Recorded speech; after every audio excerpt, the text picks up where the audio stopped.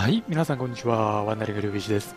えーでは今回は、アーツオブアイアンを現代モッド日本プレイの続きをやっていきたいと思います。で前回からですね、まあ、前々回ですかね、えーマレーシア戦ということで、えー核も使った強行を行っているんですが、未だマレーシアを屈服させるには至らないというところで、えー今回なんとかね、マレーシア軍を撃破していきたいなというふうに思っています。では早速続きをプレイしていきましょう。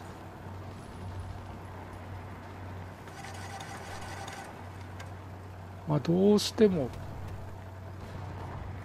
マレーシア軍、中国軍の支援を受けているということもあってなかなかに硬いんですよね。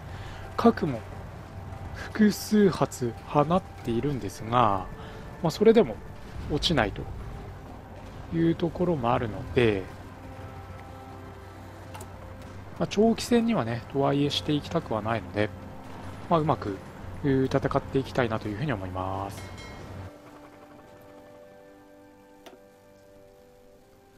で、えっと、第1艦隊と第2艦隊ですね。えーこれは自動で生成される艦隊になりますが、これは一旦合わせちゃいましょうという動き。まあ、前回操作をしているはずなんですが、えーもう一度行っておきます。これで、えー新しい第7艦隊になるのかな？違いますね。第8艦隊。えーこれを創設していきましょう。まあ、艦隊の運用に関しては、大きな艦隊にまとめるのがいいという説もあれば、まあ、小さい艦隊に分けた方がいいという説もあって、まあ、どっちがいいのかっていうのはね、えーちょっとよく分かっていないんですが、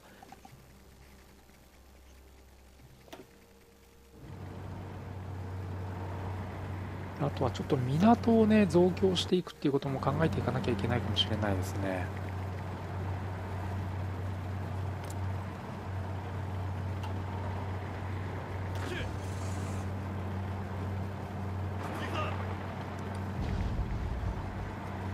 これでマレー半島のマレーシアは完全に制圧下に置いたと言っていいのかな。ようやくマレーシア幸福に追い込みましたね。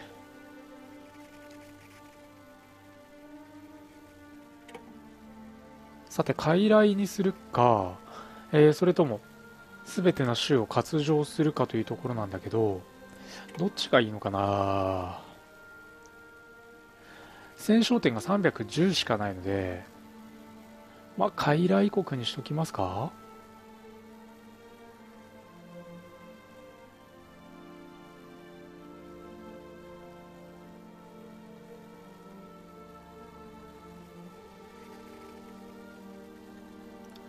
まあ、正直、もうマレーシアの方まで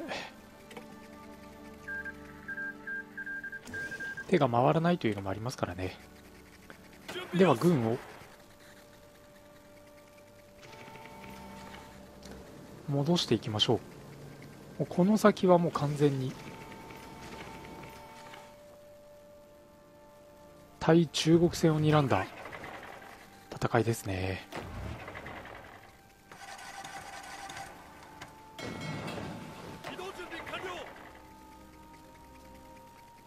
ちょっと待ってそうするともう中国領土に近いハノイに。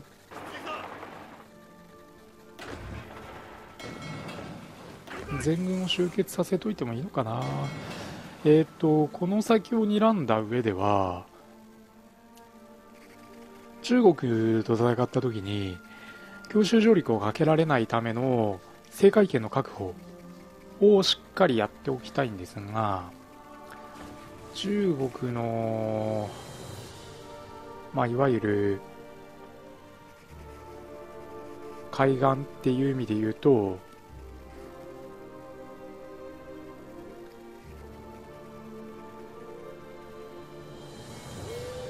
東シナ海あとは日本海は押さえておく必要あるの？ここは微妙だけど完全にロシア領になってるね。北朝鮮とロシア領になってるんでまあ、ただ北朝鮮領を通って侵入してくる可能性はあるので、まあ、日本海、あとは東シナ、南シナ、この辺りを押さえておけば、一旦強襲上陸をかけられる危機というのはなさそうですね。であとは、正解権。これの確保というところになると思います。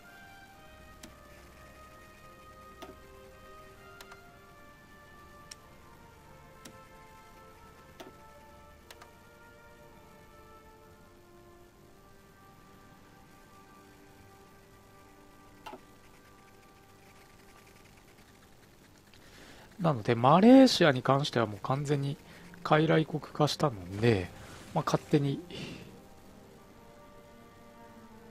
運用してもらうとして、いよいよ中国との戦いを睨んだ中国の国境ですね。ここに要塞を作っていきましょう。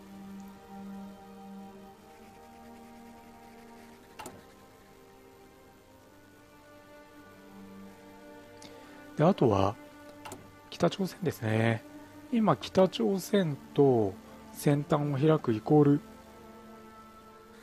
中国と戦争をするということになるので、まあ、これはそのまま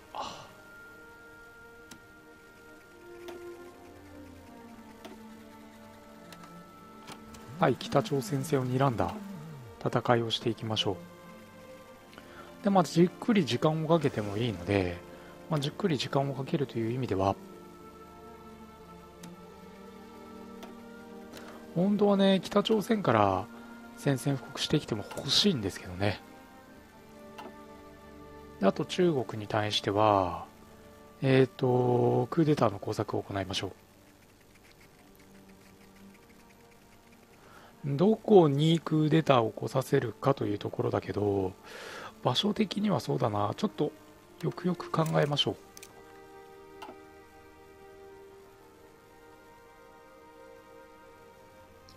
まあ、中国に対しては北朝鮮とあとはベトナム方面からも戦争を仕掛けたいのでやっぱインドとかになるのかなチベット、まあ、普通に考えたらチベットだよな。仲いいイメージないですしね。チベット。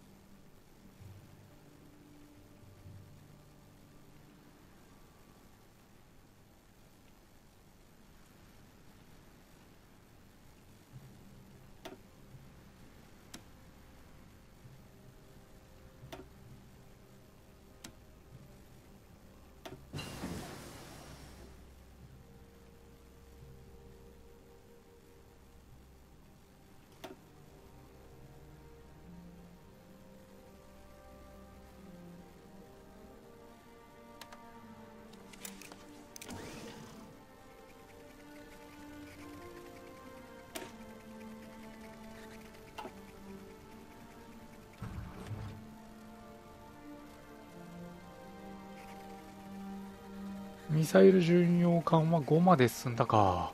もう本当に最後の世代という感じになってきたな。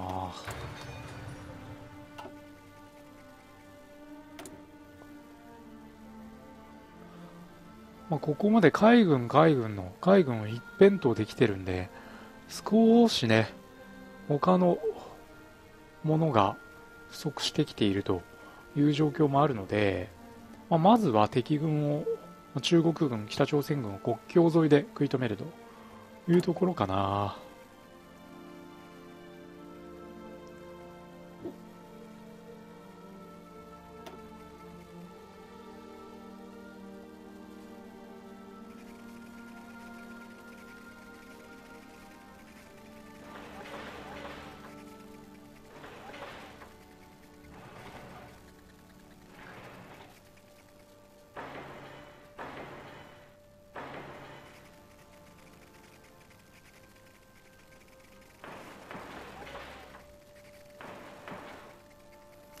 まあ、こんなところでいいでしょう。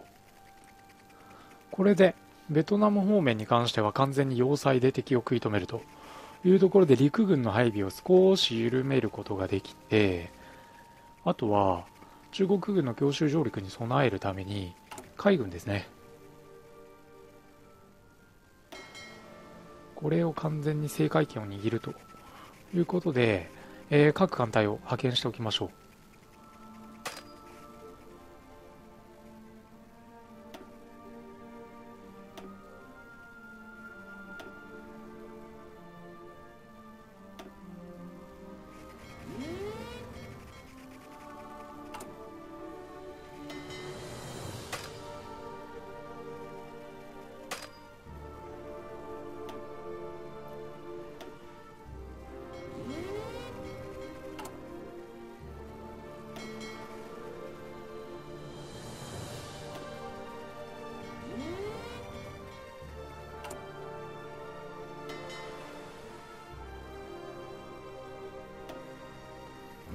これで日本海、黄海、東シナ海、南シナ海に、えー、それぞれ艦隊を派遣しているので、残った艦隊で、えっ、と、まあ、強襲上陸の支援とかも行っていく必要はあるとは思うんですが、えっ、と、まずは、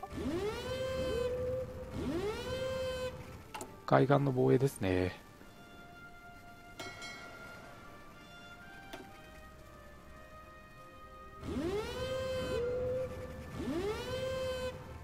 まあ、傀儡化したマレーシアはもう自分の力で戦ってもらうとしてだ。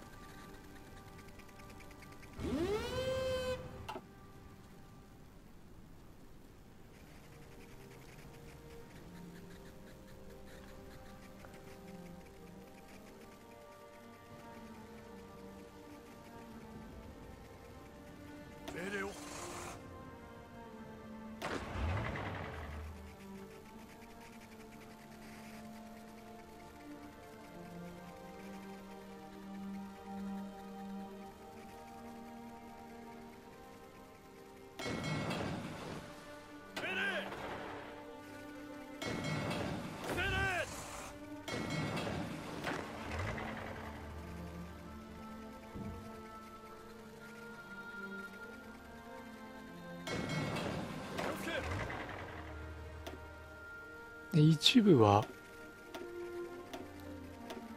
日本本土に戻してしまって、えー、対北朝鮮戦ですね。ここを睨んでいきましょう。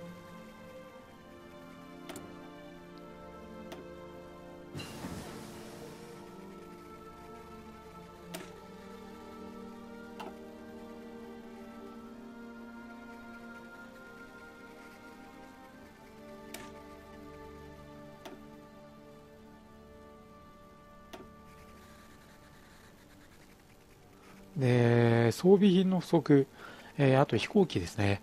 この辺りの不足はもう早急に改善していかなきゃいけないので生産のラインの見直しもね行っていきます。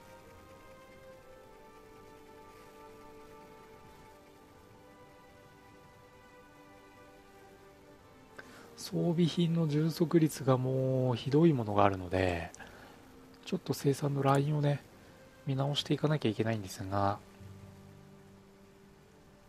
にしてもひどいな。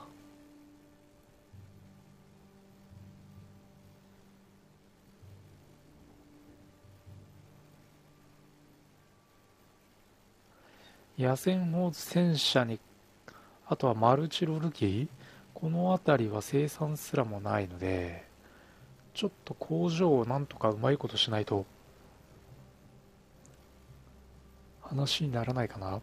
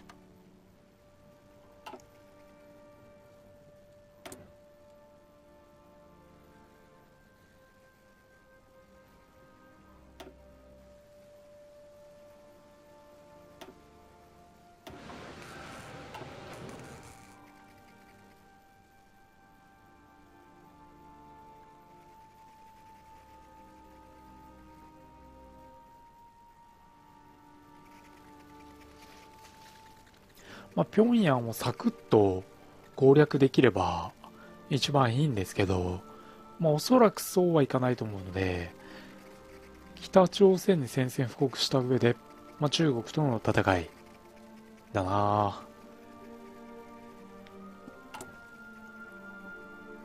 で、あとは、まあ、インド、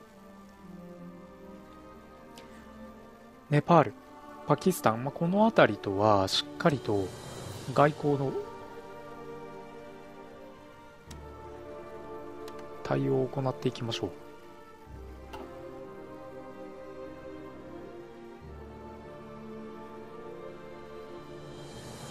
あとインドだよね、やっぱり。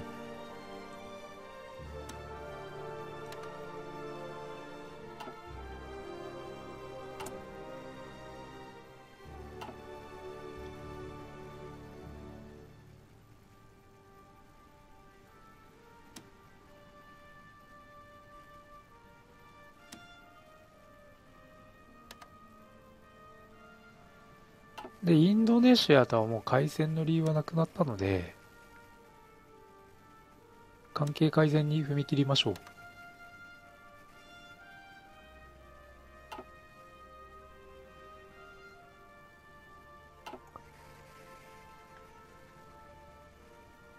ミャンマーも陣営に引き込めないまでも味方になってほしいよな、将来的には。というわけで、ミャンマー政府にも、まず戦争の正当化を中止して、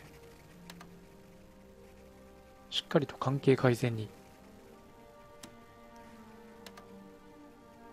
力を注ぎましょうというとこですね。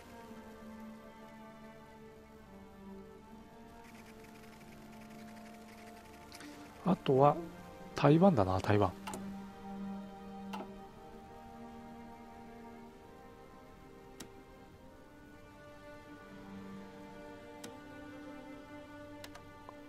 時間はたっぷりあるので、しっかりと戦略を練っていきましょうというところかな。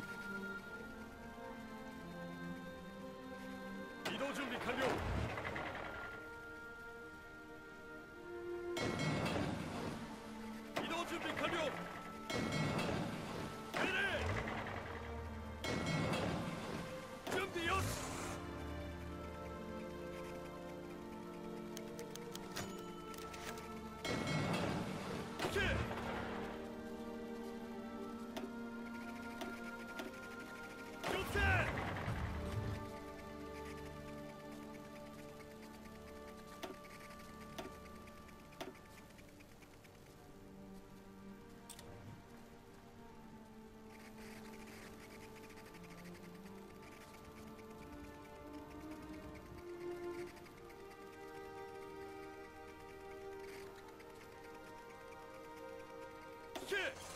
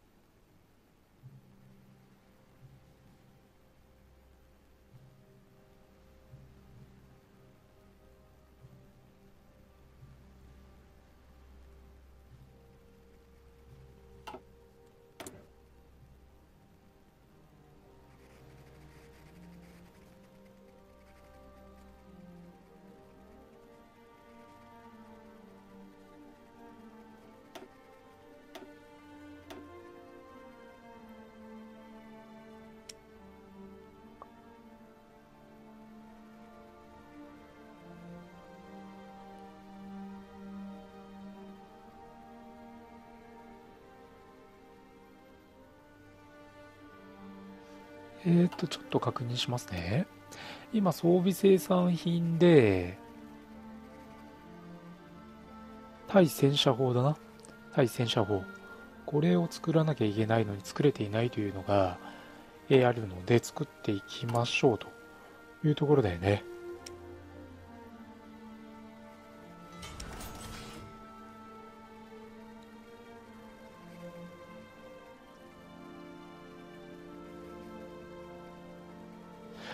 待ってね野戦砲と対空砲って別物だと思うんで野戦砲って今本当に作れてないの。作ってた気すんだけどな。ちょっと確認だけしましょう。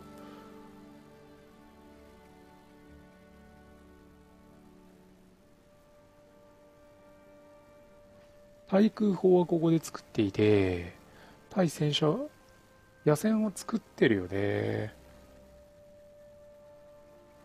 ってことは師団の中に対戦車を入れちゃってるんだな。ちょっとその師団の構成を見直しましょう。そういうことであれば。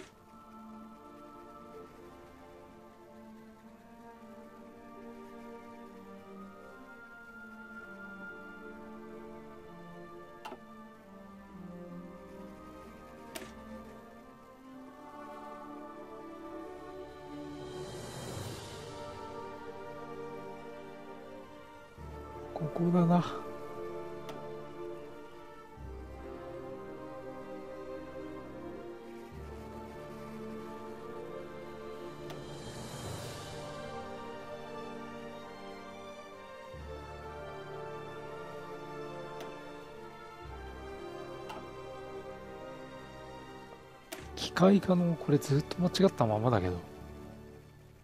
ここも対空に変えちゃいましょう。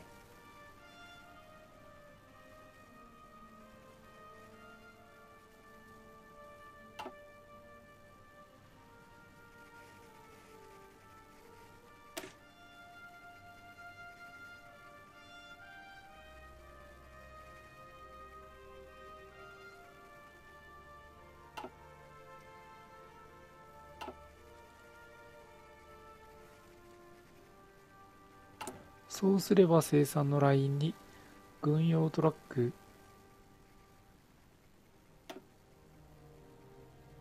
を追加できるね。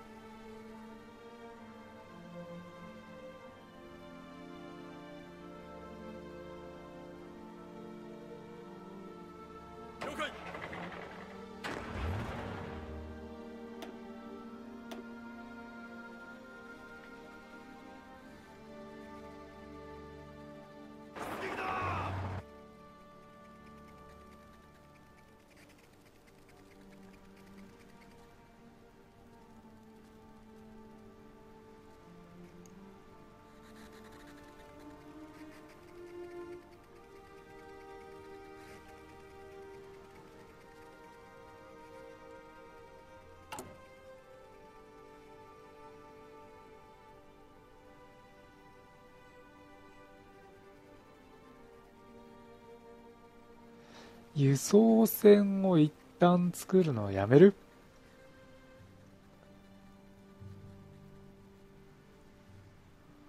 ？888の輸送船あるんでこれ強襲上陸で使っても余っちゃうんじゃないかなって感じはするけどな。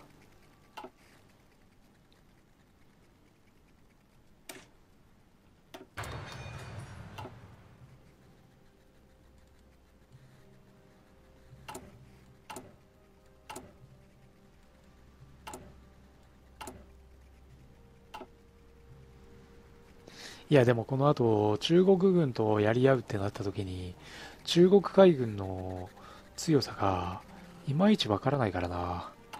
ここはアメリカともしっかり。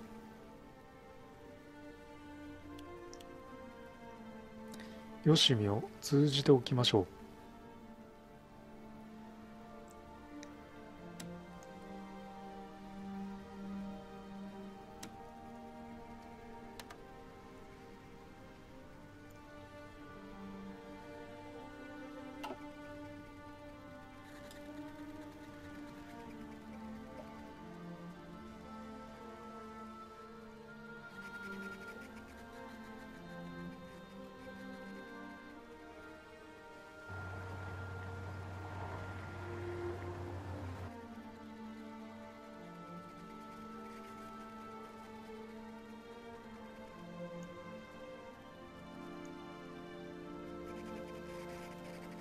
いや、これ中国軍やっぱり相当強いな。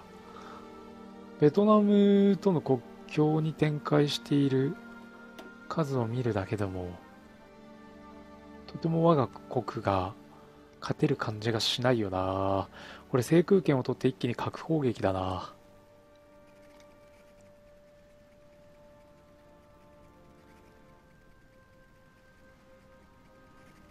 で、敵の手段をバラバラに粉砕するしかない。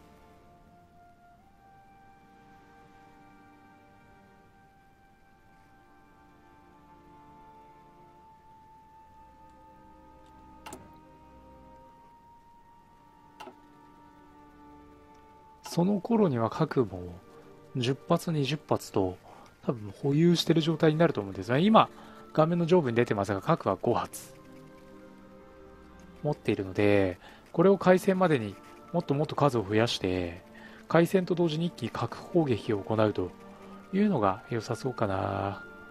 そういう意味で言うと日本のあるいはベトナムラオスカンボジアこの辺りにあとフィリピンもですねこの辺りの制空権をしっかり維持する必要があるのでどうだろうな。航空機の大増産。これをちょっと当面の目標にしていきましょうか。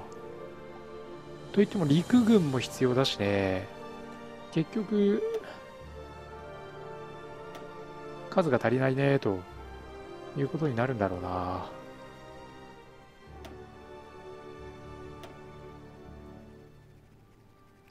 なので研究枠もちょっとこの先どうするかっていう意味で言うと